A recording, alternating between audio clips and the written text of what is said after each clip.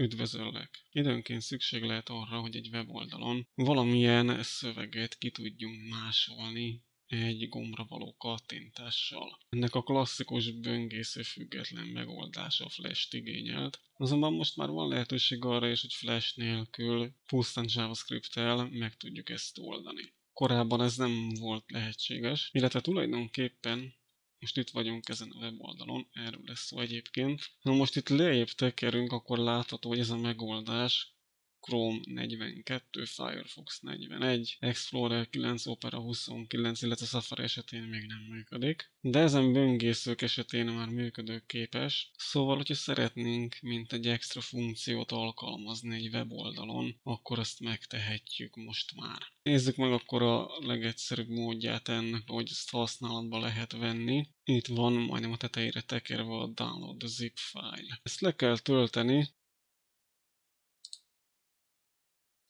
és ezt megnyitva, itt van a dist mappa, hát vagy ezt választjuk, vagy pedig a tömörített változatát, tehát mindenféleképpen célszerű ezt választani, ez 10 KB, még a másik az 22 KB.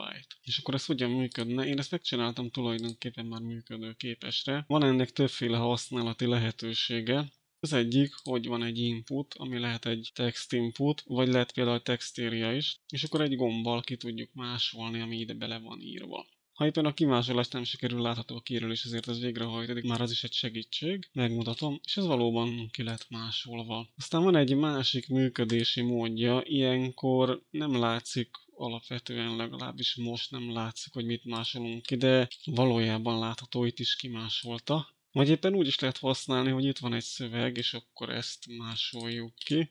Látható kimásolta, de tudja a kivágást is. Persze ebben az esetben csak az inputnak, illetve a textériának van úgy igazából értelme a szöveges inputnak, illetve a textériának, és látható valóban kivágta. Hát ugye a kivágás ugyanaz, mint a másolás, csak az eredeti az eltűnik. Hogyan működik akkor ez? Megvan itt nekem nyitva. Hát ugye itt van egy input, ennek van egy azonosítója, amire szükségünk lesz. Van egy value is megadva, de semmiképpen nem jelenti ez azt, hogy csak azt lehet kimásolni, ami eredetileg ide be volt írva a value hanem azt is ki lehet másolni, amit megad a felhasználó értelemszerűen. Szóval van itt egy input, illetve jelen esetben egy gomb van aminek van egy tulajdonsága, ami megmondja, hogy minek a tartalmát szeretnénk kimásolni. Látható, hogy kettős kereszt ez jelzi az azonosított az ID-t, illetve a vágólapra. ID egyenlő vágólapra. És akkor ezek után nyilván nekünk itt be kéne húzni az adott JavaScript fájlt, illetve van még egy apró script, a new clipboard, és meg kell mondani, hogy mely elemeknél szeretnénk ezt a funkciót biztosítani. Ez jelen esetben azon elemek, amelyek a kimásol klasszal rendelkeznek.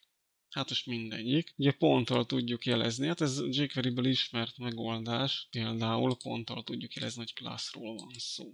Tehát minden olyan, jelen esetben gomb, ami rendelkezik ezzel a klasszal, az kimásolásként, vagy hát éppen kivágásként fog működni. Látható, hogy nem a headben van elhelyezve ez a script, nyilván azért nem, mert akkor kellene lefutnia, amikor betöltődik a teljes HTML dokumentumunk. Persze erre vannak megoldások, meg tudjuk azt mit tenni, hogy jelezzük a JavaScript-ben, hogy ez akkor fusson le, amikor betöltött a teljes HTML dokumentum. De mivel ezt nem feltétlenül ismeri mindenki, ezért ezt most nem erőltetném, hanem egyszerűen ide minden után elhelyezzük, vagy legalábbis azon elemek után, amelyeknél szeretnénk ezt a funkciót biztosítani. Tehát igazából ez így ennyi, hát látható, van egy input, annak van egy id van egy gomb, annak van egy meghatározott class, ez a kimásol, valamint egy ilyen tulajdonság, amivel megmondjuk, hogy mely elemtől másolja ezt ki. Ez az első esete ami így működik. Aztán a következő, ez pedig úgy működik, látható, itt van egy másik tulajdonság, ez a data clipboard text.